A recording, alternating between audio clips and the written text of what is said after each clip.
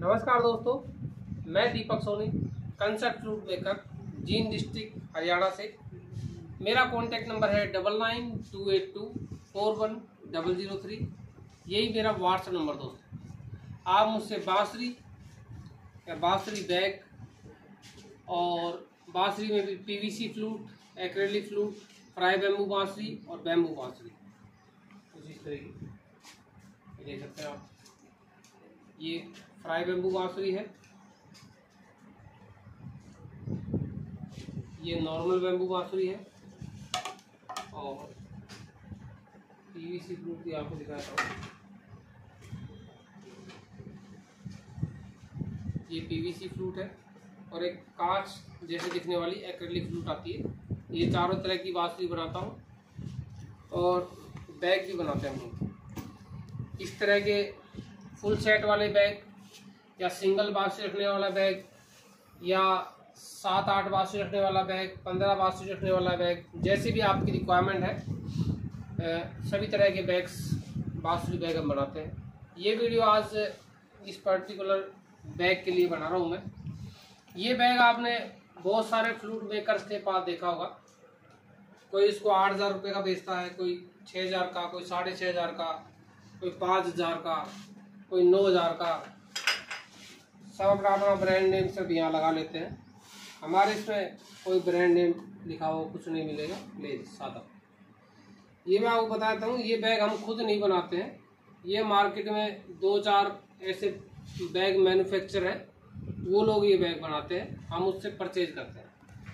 सारे fruit maker उनसे से परचेज करते हैं। हर किसी का रेट अलग हो जाता है। मान लीजिए ये बैग पच्चीस सौ रुपये का हमें पड़ता है।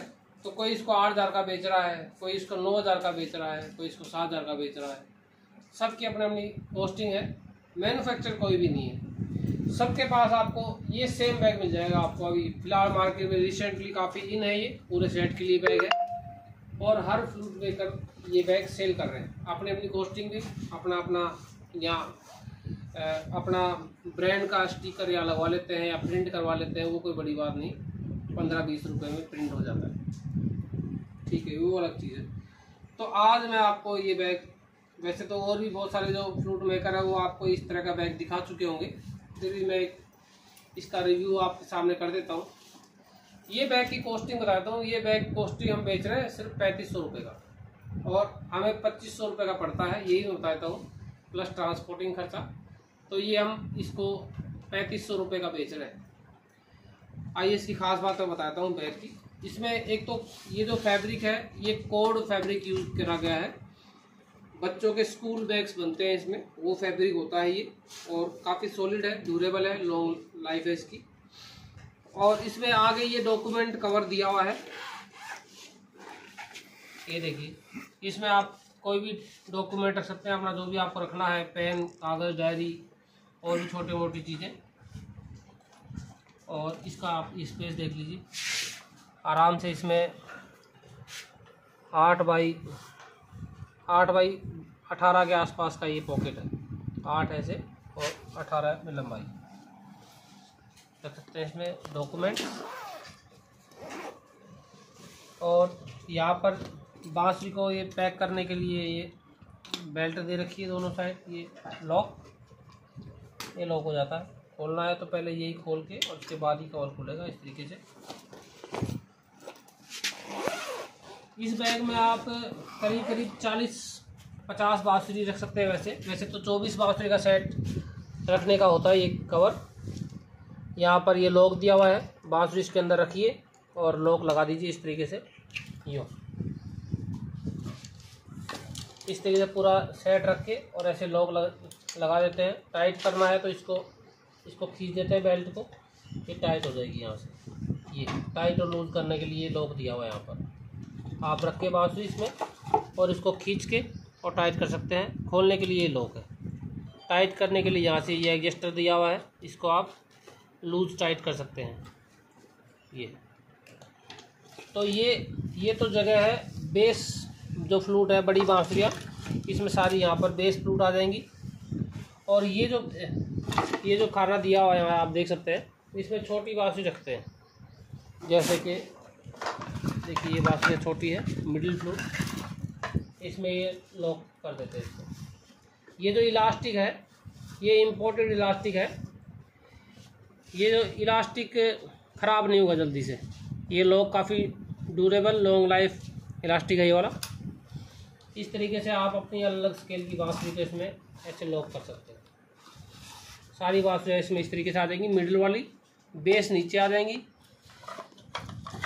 तरीके से और बाँसुरी को ऐसे लॉक कर सकते हैं। ये ये। आपको और दिखाता हूँ, इसकी और ख़ास बात। ये आ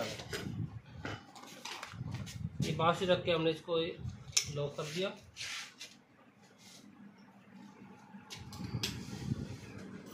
और ये पीछे देखिए, इसमें एक ख़ास बात ये भी है। आपको इसको खूटी पे टांगना है तो ये टांगने के लिए दिया हुआ है। इसको आप किसी भी कील पे, घर में जो कपड़े टांगने वाली कील होती है, जो हैंगर होते हैं, उसमें ऐसे हैंग कर सकते हैं इसको, यहाँ से। और ये जो बेल्ट दी है, जैसे बच्चे स्कूल का बैग ये टांगते हैं इस तरीके से, यूँ करके, दोनों दोनों साइड से आप इस तरीके से इस बैग को टांग सकते हैं ऐसे। ये देखिए। ये एकदम जैसे बाइक पे जा रहे हैं तो पीछे आप टांग सकते हैं छोटा बड़ा करने के लिए यहाँ भी ये एडजस्टर एडजस्टर दिया हुआ है, जिसको आप अपने हिसाब से छोटा बड़ा है, इसको कर सकते हैं। ये इसका शेप भी कुछ इस तरीके से बनाया हुआ है, ये कोई चुभता नहीं है यहाँ पर इचिंग नहीं करता है। ये शेप बेल्ट का कुछ इस तरीके दिया हुआ है, आप ये देखिए। अपनी बॉडी के हिसाब से ऐसे कर करके। बैग काफ़ी सॉलिड है। मार्केट में कोई भी फ्लूट मेकर आज की तारीख में इसको पैंतीस सौ रुपये से कम बेच ही नहीं रहा। कम से कम लोग इसको पाँच हज़ार रुपये का बेचते हैं, उससे ऊपर की कॉस्टिंग है। ये मैंने अभी जो बैग मैनुफेक्चर हम खुद नहीं सिलते हैं, ये वाला बैग हम खुद नहीं बनाते हैं, बिल्कुल मैं आपको सच्चाई बताता हूँ। ये आगे से रेडीमेड आता है बिल्कुल। और आपको सप्लाई भी डायरेक्ट वहीं से करवाएँगे हम लोग। हम अपने पास से नहीं भेजेंगे इसको, क्योंकि डबल डबल ट्रांसपोर्टिंग खर्चा लगता है। वहाँ से मंगवाने का, फिर आपके पास भेजने का। तो कॉस्टिंग ज़्यादा पड़ती है। हम सिर्फ़ इसको आपके ऑर्डर बुक करेंगे और आगे से सप्लाई करवाएँगे आपके पास। इसमें एक खास बात और है, जो आप ये हार्ड ये चीज़ देख रहे हैं, इसमें एक तरह का फोम लगता है। फोम होता है, आइए मैं आपको बाहर दिखाता हूँ रोशनी में। फोम ये प्लास्टिक की ये रबड़ की शीट है, जिससे हम कोर्क बनाते हैं। और ये ये जो फोम है, ये हार्ड है काफ़ी। ये देखिए फ्लेक्सिबल भी है हार्ड भी है। तो ये जो फोम है, इसकी मोटाई देखिए, दस एम mm मोटा है। इसकी मोटाई यहाँ से देखिए। ये दस एम mm इसकी मोटाई है। ये जो रबड़ सीट है, ये इसके अंदर लगी हुई है। ये मैं आपको तो मैं आपको ये खोल के दिखाता हूँ, इसके अंदर वो सीट कहाँ पर लगी हुई है। डबल चैन लगी है, वो भी हैवी क्वालिटी की है। दस नंबर दस नंबर की जिप बोलते हैं इसको। रनर। वो जो सीट जो मैंने आपको दिखाई है वो देखिए ये रही ये रही। ये फोम सीट है। ये इस तरीके से यहाँ से ये पूरे में एक ही सीट ऐसे डाल के यहाँ पर ये लॉक की हुई है। और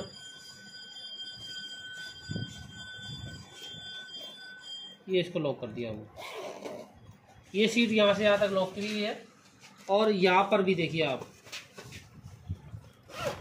ये बॉटम पे भी ये चैन खोल के और यही वाली शीट सेम इसमें घुसाई हुई है, यहाँ पर।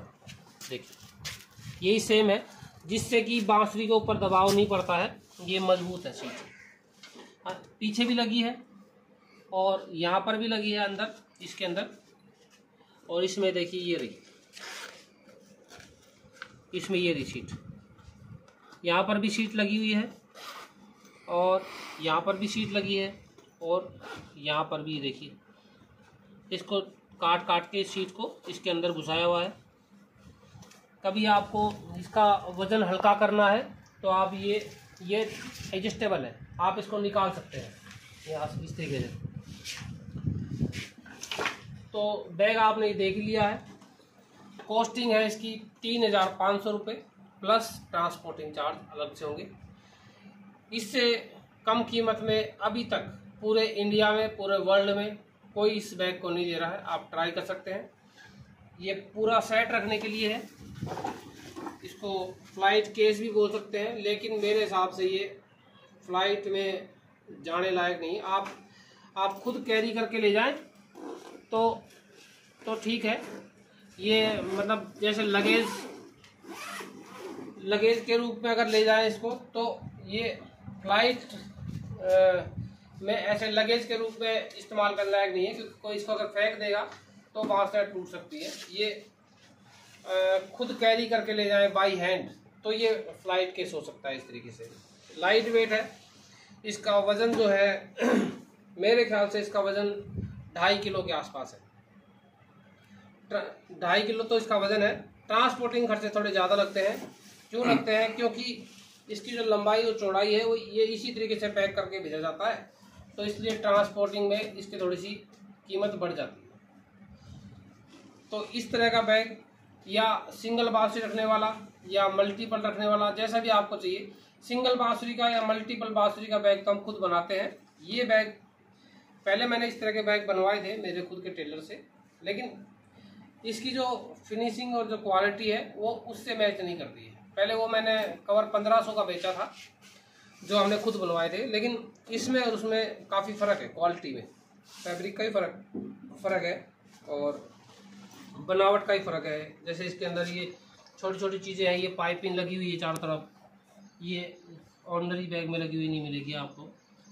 चैन जो है, ये बार, जैसे ये देखिए आठ नंबर चैन है और जो मेन इसकी जो चैन है, ये ये दस नंबर चैन दस है या शायद बारह नंबर है। मोटी है, काफ़ी हैवी है। तो हिसाब से बनाया हुआ है।